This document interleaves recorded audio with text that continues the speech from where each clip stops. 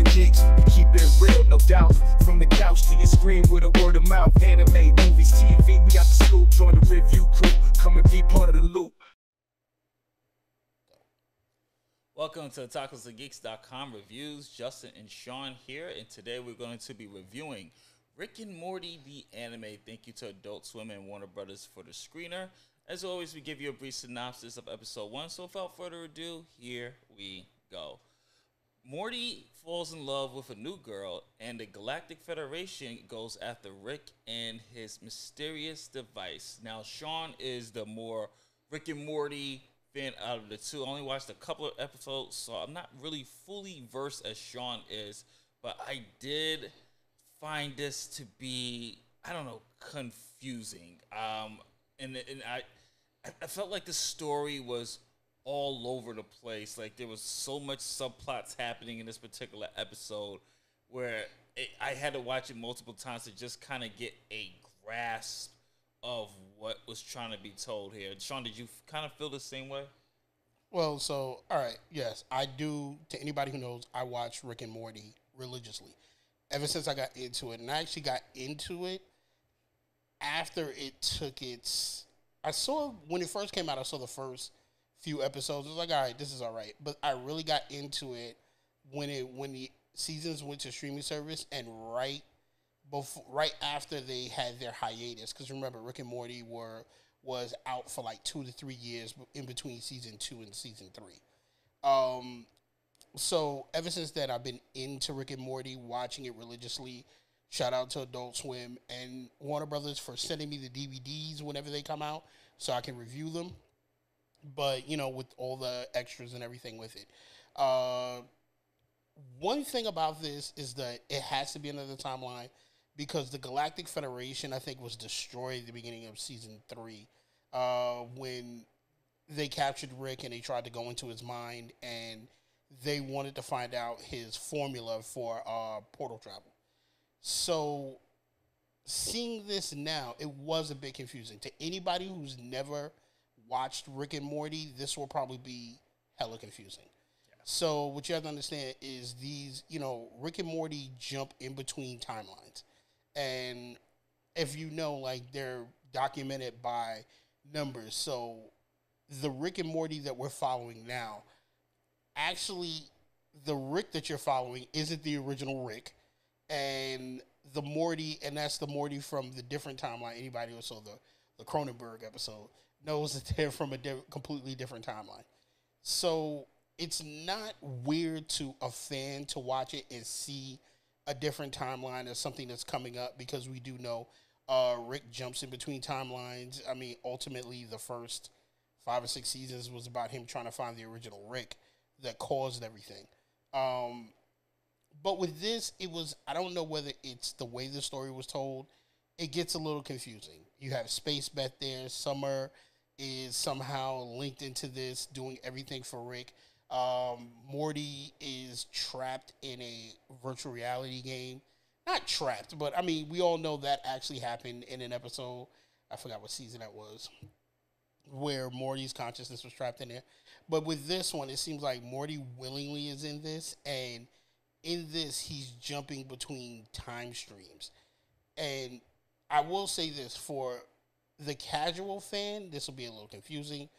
For the more seasoned fan, we get it, but it's still like, okay, I have to watch more episodes because as we all know, with Rick and Morty, it's always like misdirection. It seems one way when it starts and it goes an entirely different direction later and it is brilliant.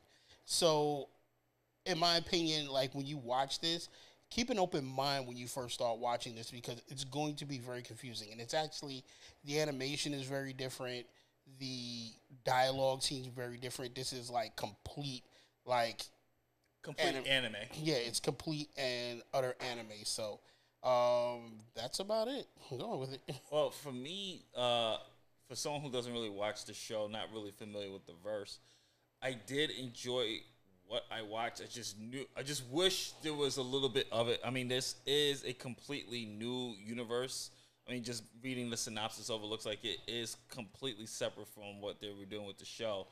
Um, but I did like the anime aesthetics. It does keep kind of a similar art style, at least with the character designs. Uh, You can see Morty's eyes are a little bit more bigger, like a more anime-ish type style. So is Rick's design and uh, um, um, Rick's daughter. But aesthetically, it, it looked like it was definitely an interpretation of what would be Rick and Morty if it was an anime. So for that, they did succeed. They didn't stray too away. This is not like a production IG type of production that you're used to seeing on anime on various things like on Crunchyroll HIDIVE. This is basically taking a similar art style of what Rick and Morty is and giving it just some tweaks to make it more of that Japanese style aesthetics and feel. And I, I thought that uh, they did a very good job when it comes to that to really capturing Yeah, that that ki- that kind of heart of the uh, of what it means to be like in an anime. As far as the story structure goes, it is completely pure anime because even in anime you have things that are just happening all at once, and then sometimes you have your A plot, your B plot, your C plot, and certain things just are just so I, jumbled. I think they went from A to Z on this one. That's how crazy it is. and so. there's multiple Mortys in here, and you're just Yeah. like, wait, which one is this one? Wait, this one's depressed, or this one's here, and there's another Rick here, and, and, and it just it jumps around a lot. I will say lot. A lot. And it's like the pacing. I think if they slowed the pace down just a bit, I would probably be able to connect some stuff. But it goes so fast. It's like this morning, this morning, this morning. Oh, this we jump into this timeline. Oh no, but this is happening exactly at this particular moment.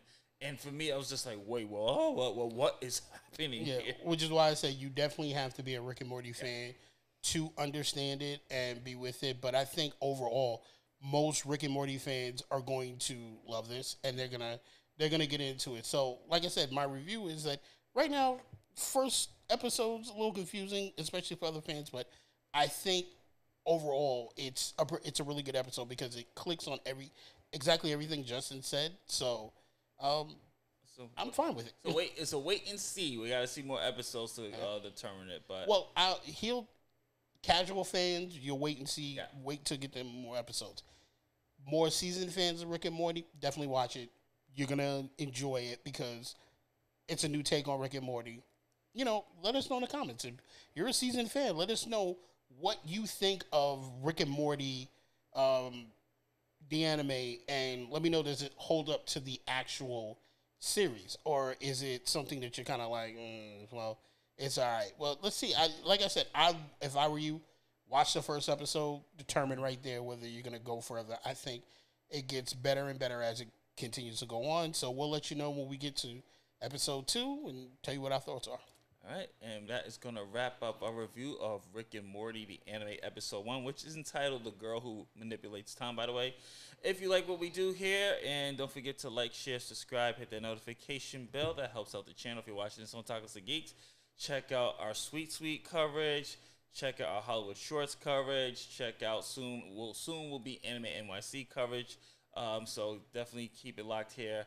Our, uh, check out our recent videos of Essential Manga, Essential Anime, Top 10, UWL, Sad Night Slam, Uprising, and Peace, Love, and Happiness. We'll catch you And, on and next some one. and some of the secret stuff that we can't talk about right now because we're embargoed. Which, you know, which will be coming around Horizons. Gone really. I just did three interviews, so Yeah, you'll so- see that pretty soon. So we'll talk to y'all later. Later days. Peace.